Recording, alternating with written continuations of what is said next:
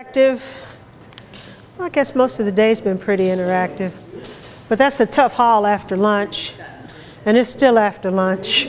Last time I checked, so uh, we're going to make this uh, painless and interesting, but we won't drag it on too long.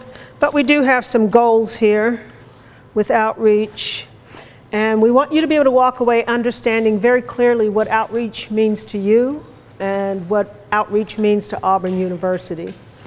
And then we want to take a look at your outreach contributions and give you an opportunity to actually delineate those before you leave and have some discussion around that. And then to help you begin to formulate your outreach philosophy. Even though you were not instructed to bring your laptops, we'll have you just do a wee bit of writing. Not as much as we would have if you had had your laptops. But that doesn't mean don't bring them next time and then you won't have to do it. but uh, we would like you to walk away with a beginning to what you are doing. The essence of our heritage is that we are attentive and responsive to the needs of the constituents we serve. As I have noted before, however, our responsiveness must not be constrained by a narrow definition of the land grant mission. Rather, we must inquire what it is that this institution should be and must be now and in the future if we are to fulfill our role in service to society. So says the 15th president of Auburn University, William Muse. Okay. We're going to begin with talking about what outreach means to you. Once again, on your table, you have index cards, I believe placed by Raj. on those index cards, I would like you to individually write either a definition or a description of what outreach means to you. When everyone is done writing their definition or description, and this should take you about a minute or two, you're going to randomly redistribute the cards at your table and then read them aloud. So you want to try to write it so it can be read by someone else.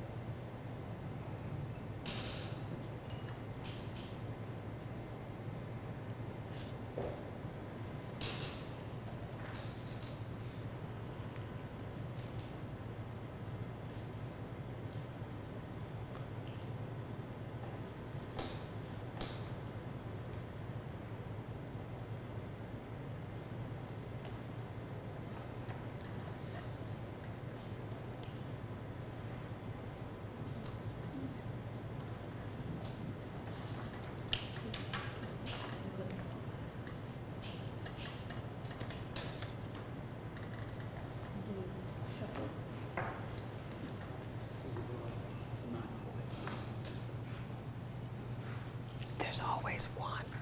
Yeah. Table has completed the first part. Just pass the cards around and begin reading them aloud.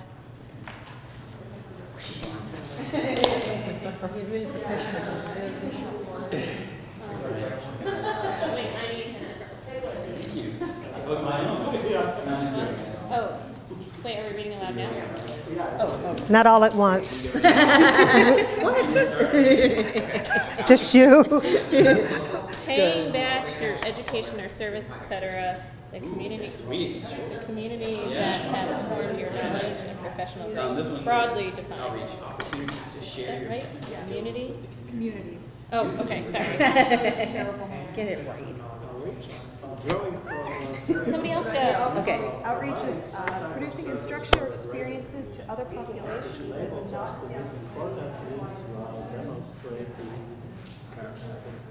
Care, yeah, makes sense. And this one says using your teaching, research, skills, and knowledge to benefit the general public or a specific group of people outside the university. It says, uh, reach out to people, educate.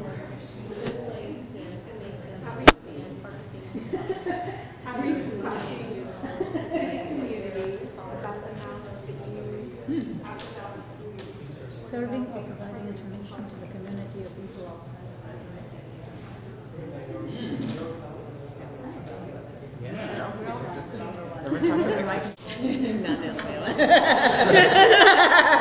What we would like to do for the next few minutes is we want to hear some of the, the gems from your table, be they bright gems or not so bright gems. Ours, our favorite one, uh, says serving the local, national, or international public with our expertise. Oh, yeah. Serving the national or international public with our expertise. Another? I like the free thing there. Was there another good one from this table? Yeah, that's a good one. Yeah, free is an emphasis that we talked about, usually for free. For free. Yeah. Okay. All right. Their emphasis is their emphasis was on national and international and the service being free. How about this table in the back? Can I just add to something? Sure. I don't think, I think what I see in outreach is that I has to be really, really close or really, really far. I think that's what the university seems to like. You know, if you go somewhere in the county, it's awesome. If you go to, you know, India or China, it's awesome. I don't think national would be that fast. So Europe would be good? Huh? So Europe would be?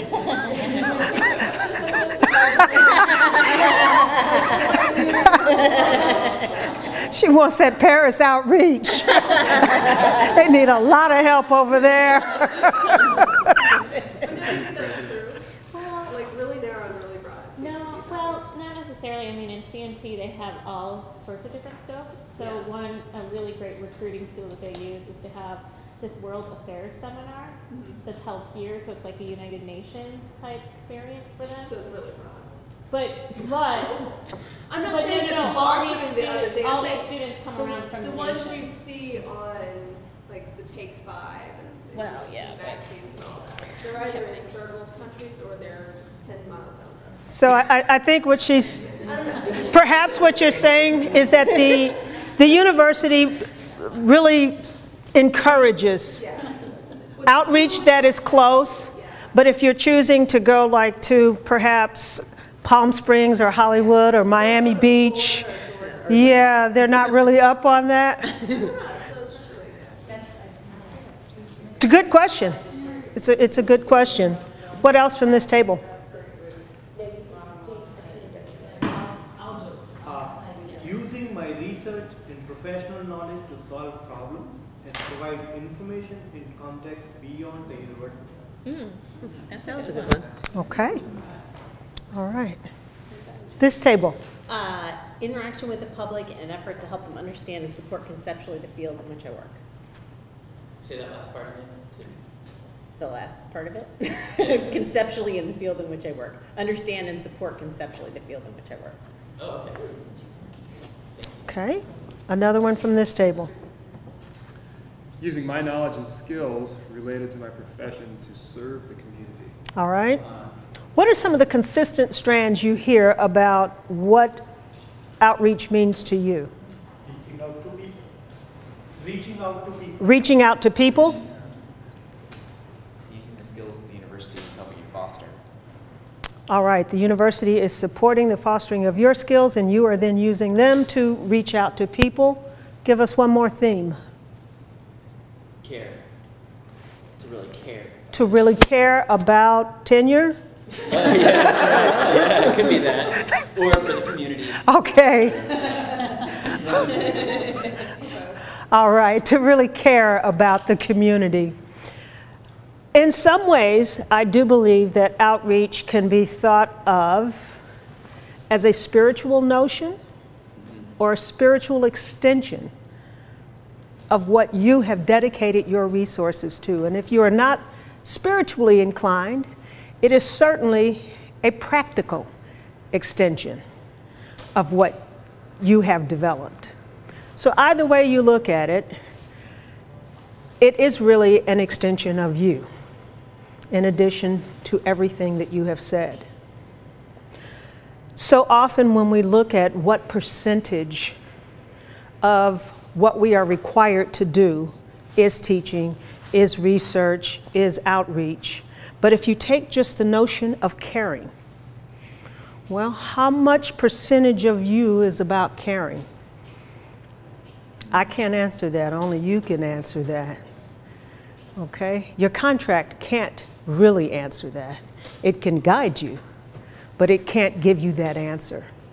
So, as we explore today, I want you to perhaps add that to the dimension of what you're thinking about and how you're feeling when you think about outreach and what outreach means not only to your career, to you contractually, but to you as a contributing human being to society. How can outreach play into that? We are basically going to utilize three resources. And one is this handy little booklet that was developed in 2000 called University Outreach. And this is uh, for and about Auburn University. How many of you have ever seen this booklet before? All right, we've got many copies of it in the Biggio Center that you are welcome to have. I didn't know how to end that sentence, what to tell you you could do with them. If I had known you could have them, I would have brought them for you, but uh, you can stop by the Biggio Center and uh, pick these up. In the next thing we're going to do, you're going to take a look at a couple of the quotes from this booklet, and I'm going to tell you a little bit more about it in a few minutes. The other resource that we're going to use, of course, is uh, Dr. Groch's well-developed manual, and that is what we're going to use to write from. And then the third thing is uh, the faculty handbook. Now, given that I assumed you would have your computers and that you were going to be online, saving paper, I didn't make copies of what I wanted to talk to you about. However, the website you know you can find, but I want you to understand how to interact with the faculty handbook as you are trying to develop your documentation for this, because they do give you some excellent guidelines. And then this book works well with that because it fleshes out what they're talking about in the handbook. So you'll read the handbook and you'll say, Well, I'm not quite sure what that means. This book gives you samples, and they're samples from Auburn University. So it's, it's a tiny bit dated, but I don't think there's a newer version of this. And as I read through it, I thought it was still perfectly applicable. Okay? All right, if you look on your table, there's a yellow sheet, and on that yellow sheet are two quotations from the Orange Book and a quotation from the Faculty Handbook. I want you to take about two minutes to read those three items.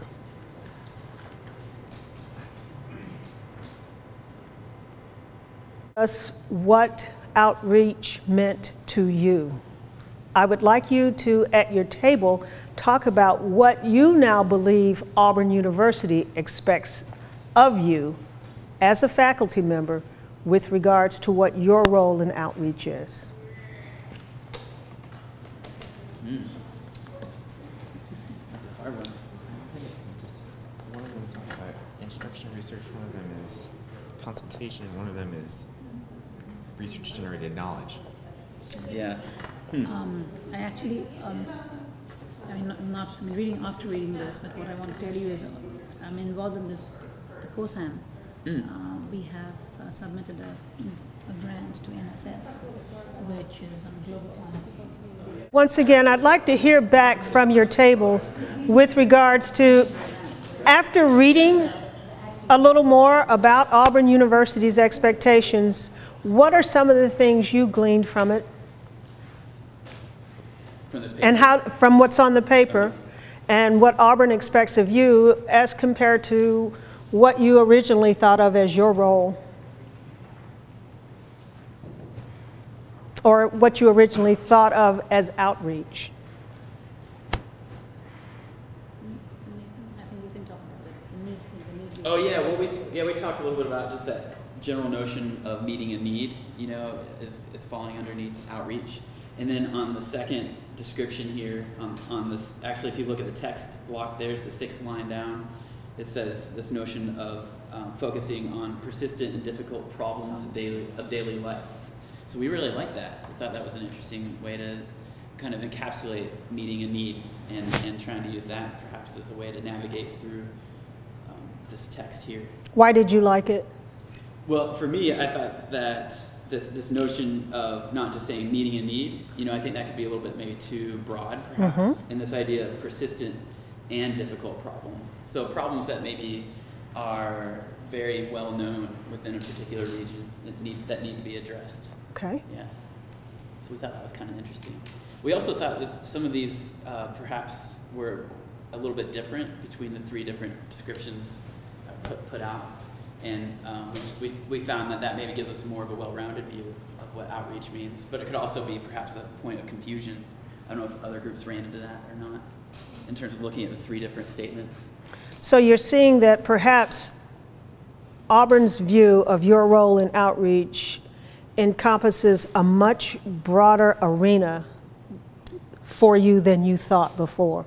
That there are many more opportunities within that arena than you previously would have thought. Well, per, perhaps, yeah, based on this document here. Okay. All right. We were surprised to see distance education and lifelong long learning as a goal too, so we, maybe we count more than outreach. You were surprised to hear distance education and outreach learning Lifelong learning, and lo- lifelong learning. yeah, part of the description. Okay. We didn't, is that really? Distance? Yeah, well, Uh huh. and Meaning like I teach an online class and people take it, that's somehow different from regular world. Good, Why did that surprise you? because that's teaching. Because they pay tuition for it. Yeah, that's what Jason, And then- so if they don't pay tuition as outreach, they pay tuition as teaching. Or pay regular tuition, that's the. Go ahead, Dr. Chaudhary. So I have to s- say something here. I think this document is out of date. Uh, Because I think this, that whole reason for saying distance education, lifelong learning, the lifelong learning piece is yes. That's because the- there's something called the Office of Professional and Continuing Education that sits, reports to the Vice President for University Outreach. And that's where you can offer classes to the community people, okay, that they pay some, you know, small amount of tuition for. And um, the Office of Distance Learning used to also report to University Outreach Mm-hmm. till the previous provost gave it to the Biggio Center. So now distance education is actually under the Biggio Center. So maybe that distance education doesn't quite hold anymore. So I think administrative things have moved a little bit ahead of some policy documents. Well, I can think of a project that I'm working on that's going to involve distance education. And currently, there is no charging fee attached to that as an initial component. Doesn't mean that outreach projects can't have distance education components. It means that distance education is not outreach. Right. Class. Exactly. That in and of itself does not make it outreach. Well understood. Jay, you were going to say something? Okay. Thank you, Dr. Chaudhary. More? Comments? Well, can we talk about how, the, I don't know if I'm the only one in College of Liberal Arts, but they um, have decided to um, not have a separate outreach percentage. It Okay. is, um, outreach goes in now every single component. Hmm. So you can't, so So you're it's saying research about, slash outreach. teaching Right. Slash outreach. yes. Mm-hmm. Huh. So it's a different, I don't know if other colleges going- are going to do that, But That's an but, interesting way of thinking about it because it expands this thing, this idea that you take what you're doing as a faculty member out. So it's saying take every single aspect of what you do out. And just to add, I'm sorry. No, no, go ahead. just to add, um, I work for community planning and our objective is to improve communities. So most, most of the research that we write or grants that we write are around community development. economic development, it could be social development. So that's, there's a research component, but it has a direct impact on community. Mhm. So this one dilemma we had as department, whether, we should account as research or outreach. Mhm. And we were said, do it on both sides. I don't know whether it's, it's what is correct. Mhm. How, how do you account? Well, I don't know how they're going to choose to count it, but I think that this organic approach would have taken care of that. And I think if you look at the first line from President Muse, where he says, conceptually, outreach is instruction, or outreach is research, or it's instruction and research. And I believe that what they are doing in the College of Liberal Arts speaks to the spirit of how some have defined or intended Auburn to approach the whole notion of outreach. But once again, it has been in many ways left to the individual colleges as to how they will continue to sparse that about. And so then it becomes incumbent upon you to try to figure that out versus what you want and need to do versus what you are reading. And uh, I'm just so glad it's all perfectly clear to you now. we can just take this topic off the table.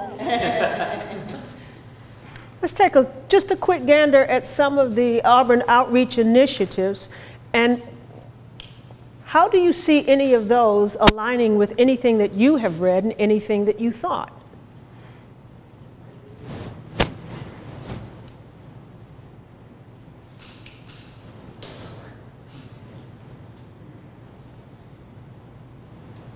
In a way, that lines up with the comment a moment ago about it's either international or it's in the state. Okay. That's true. Okay.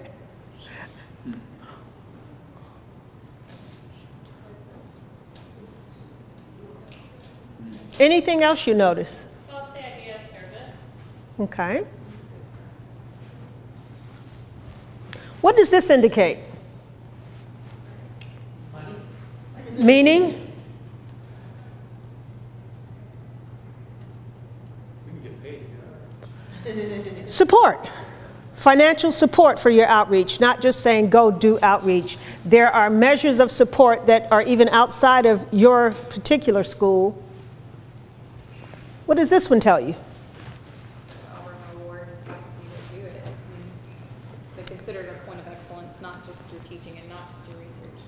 Okay, so there's something supportive foundationally about your efforts to do outreach in that there are grants available and that they do encompass some type of award ceremony where you're given actual awards and recognition for having done outreach.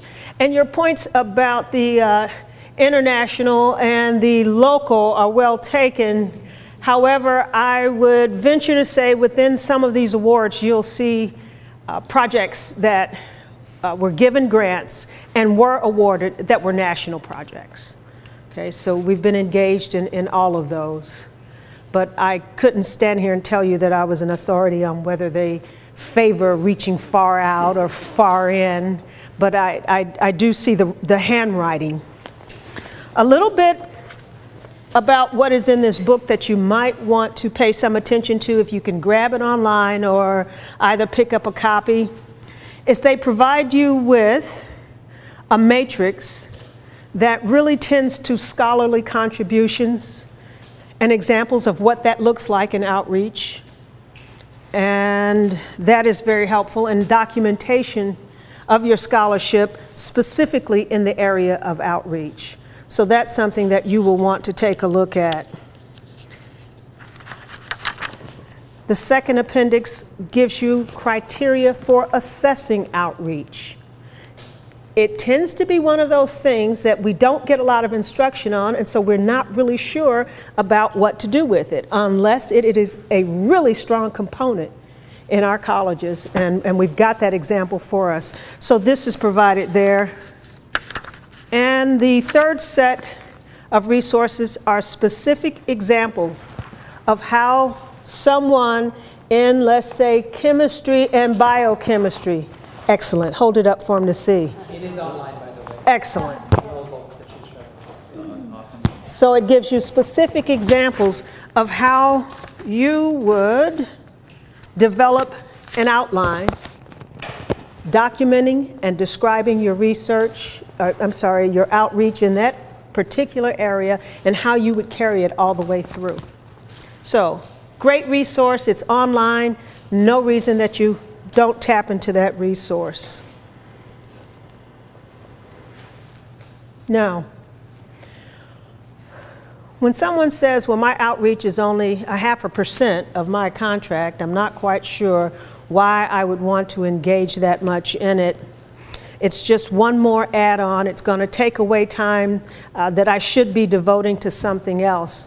One of the keys to looking at outreach is making sure that your outreach is connected. Connected to your teaching, connected to your research. connected to anything that you are able to connect it with that has to do with your purpose here.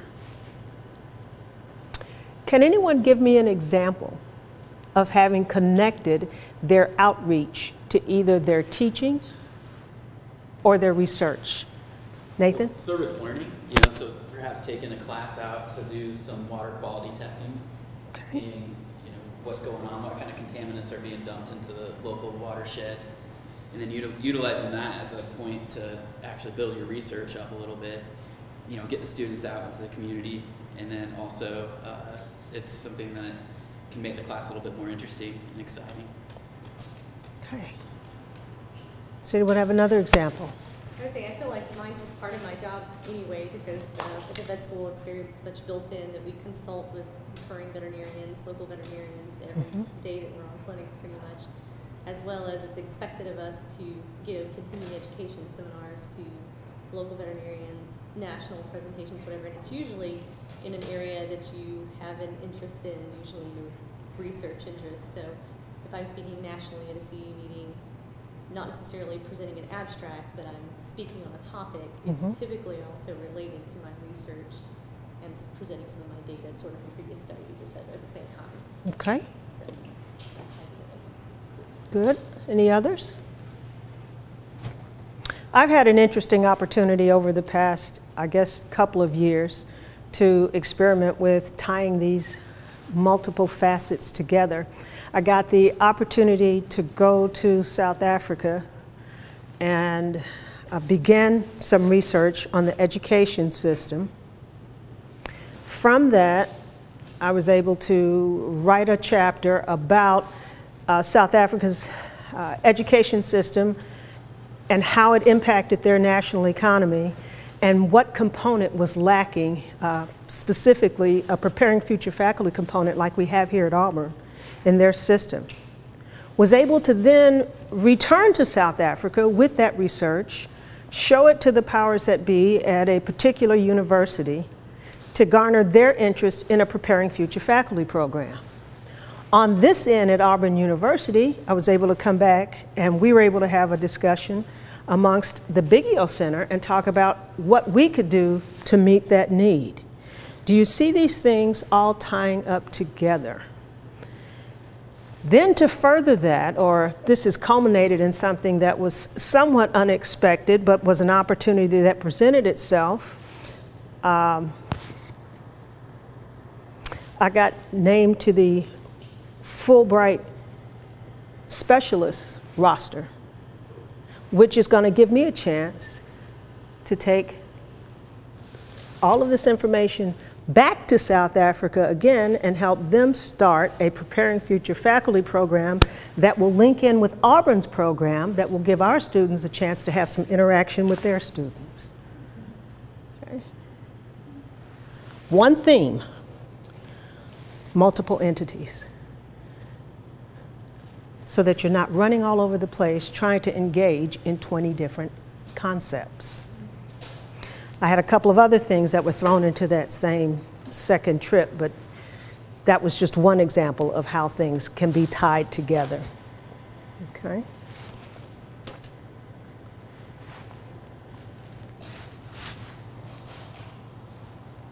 I want you to think about how you can take any research activity you have and how you can get that to not only benefit others, but how you can get it to benefit you and perhaps grow into some larger vision that is somewhere in the recesses of your mind. Does the question make sense to you?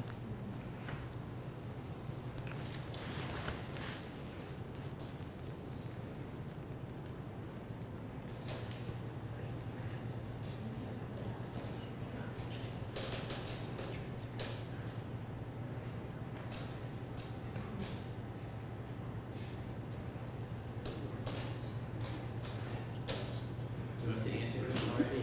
Mm-hmm. Well, are we ready to get into it? Yeah. Well, I think It's, one- it's an open discussion. Yeah, well, I think in terms of getting funding, you know, to do whatever research you want to do, if you can put something on there that shows that there's a need in the community, whoever it is that you're submitting to is going to like that a lot. Say, hey, there's this need. Um, I, I'm involved in one of these uh, grants which uh, COSAM, under COSAM, for uh, global climate change education with middle school. Mhm. Rod is also involved in. And what I'm thinking now, you know, listening to Dr. Rocha and everybody, if, if, so if we get the grant, if, Right. so then what we can do is, I can use it, like if we have a pre-question kind of thing at the beginning of, when we get the grant and we start the process, and then we have a post-question thing at the end, so we'll know if really we could educate these middle school students and evaluate, and that I could maybe come up with some research paper or use it in my teaching, or maybe I can join with Raj and come up with a course, Mm-hmm, absolutely. Awesome. A distance course, you mean? distance, Mm-hmm. like far to China and India. Not nowhere in between, far or Okay. All right. It, it- it's almost a systems approach to thinking when it comes to incorporating the outreach. Um, I do outreach at Loachapoka Elementary School. I do a violin class, and I also work with uh, youth orchestra, kind of kid orchestra. And the whole point eventually is to have string music education students or wind and brass or choral to actually work with those students. So it's going to become a component of the string skills class that I teach spring semester to have them have actual interaction with kids playing these instruments. Okay. All right. The more you think about it, the more you get to talk about it with your colleagues, the more you start to connect the dots and see the connectivity in what you're doing, the easier it becomes to figure out how you incorporate outreach into what you are doing and how you do it successfully and how you do it in such a manner that it becomes an extension of your purpose and not just something else that you have to get done.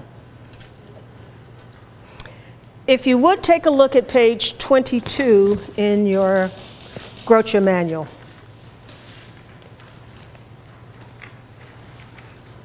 We're just going to engage in a couple of activities from the manual that are going to get you started. On page 22, under step one, it asks you to list your community outreach activities. I want you to just think about it and list everything that you can think of that you're engaged in that could be considered community outreach activities. And if you're sitting there thinking, but I don't do any outreach, you do something, even if you haven't connected the dots yet. I heard someone say they went to their child's school and spoke at Career Day. All right, that's a beginning. Can we make one up? You can you can engage in fantasy and put down what you would do if you had thought of it before today. Yes, you can.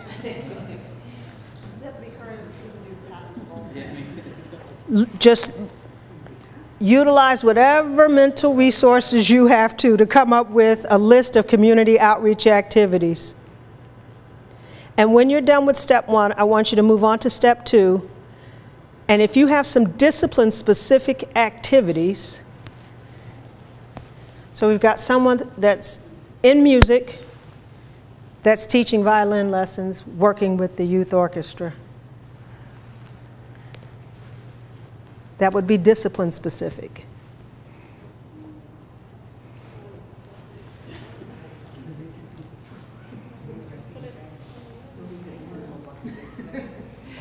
Happening as you make your lists.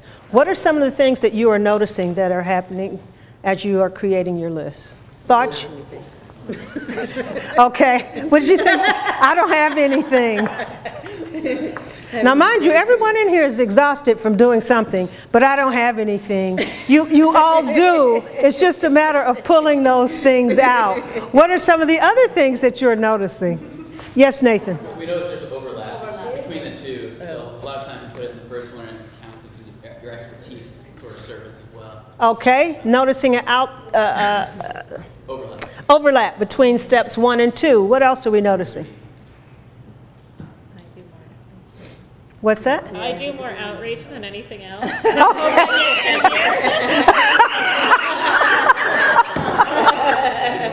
We have a case of depression here. She does so much outreach, she's not getting tenure.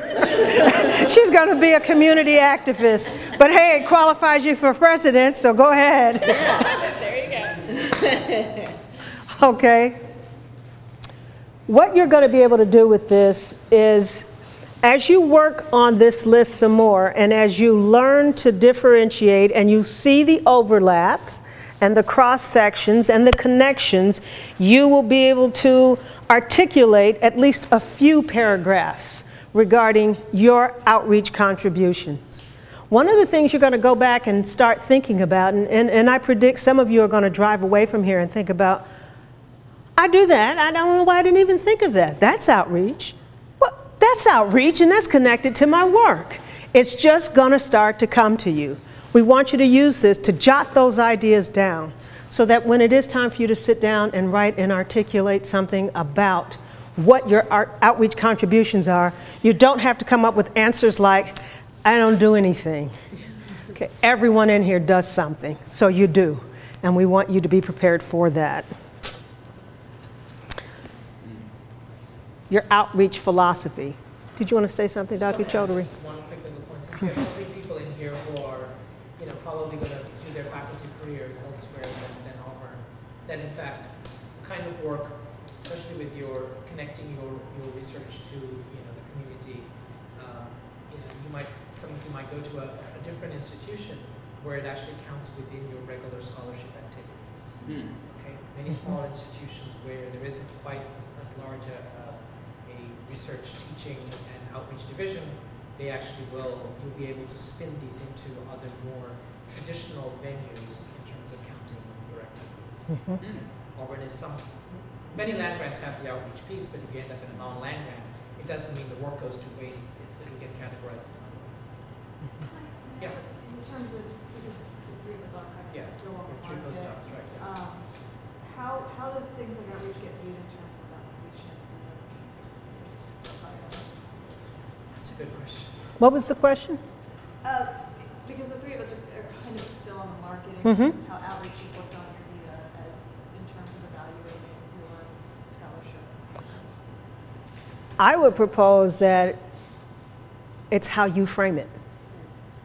And how you frame it is going to depend on which institutions you are applying to. If you apply to an institution like what he just described, then I would frame the outreach as this, this organic part of your whole package of what you're going to bring to itty bitty Idaho. And how that's going to help with what you know are issues that exist in itty bitty Idaho. Not 30% of my work was, they're not interested in that. But Ohio State might be. Okay? So I, I think that's one way that you could handle that situation. Okay, an outreach philosophy and an outreach philosophy statement. Because you're here right now, let's say Auburn University, you and the larger world, and how you conceptualize that with regards to outreach. And if you wanted to think in generic terms, academia, you, and the larger world would serve that same purpose.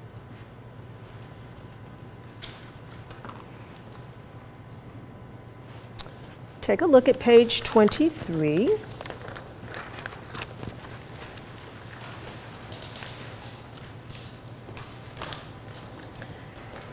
Given that you haven't had a significant amount of time to lay this out in your mind, I would like you to see if you could come up with a statement sentence drawing on the initial index card you wrote, the things you have written down about the outreach that you currently do. See if you can come up with one statement sentence about what you believe about outreach.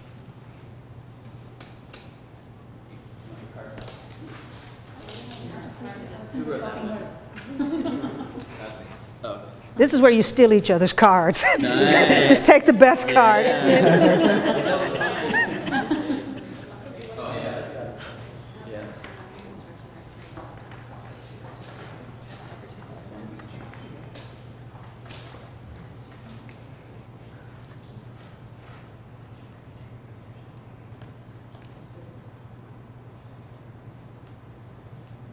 That- It's our gateway sentence. Yes, thank you, Nathan. You just developed a gateway sentence. This is not your, the sum total of your philosophy, I hope. Has everyone had a chance to share their statement sentences? Not yet. Okay, We're working on it. all right, got the Mensa table over here. Think back, but like the last, I mean, the last, I mean, the last sentence. What do you have over here? Outreach is providing instruction. Okay, if we can come back together one last time on this, I want you to hear some of the different um, statements that were made and see what you notice about some of the statements. Remember, this is sort of a draft of an opening statement, which then builds into paragraphs, which then is completed in a page. All right? Kelly, would you give us yours? Um, I said that I believe outreach is using my knowledge, expertise, and skills as an audiologist to serve the local, national, and global community. Okay. Another, please? Pet? Um, I said, I kept it more discipline specific and said outreach allows me to contribute to the veterinary community and clients by providing expertise and continuing education to general practitioners which directly benefit the pets and clients. Okay. Get some more volunteers? Music?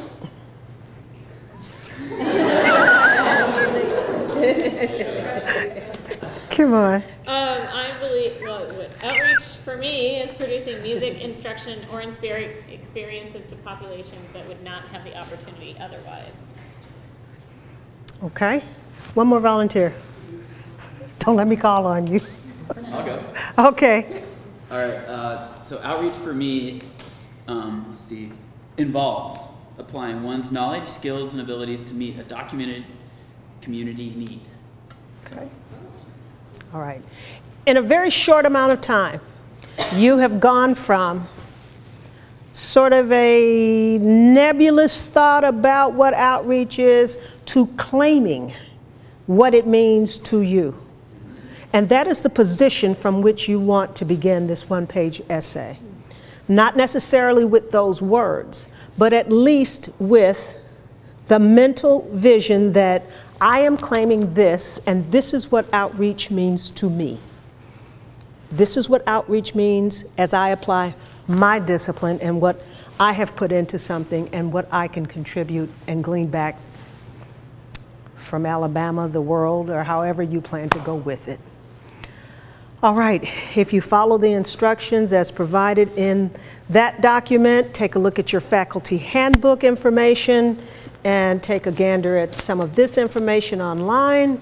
I think you will be in a pretty good position and you're already off to a great start with outreach, philosophy, and contributions.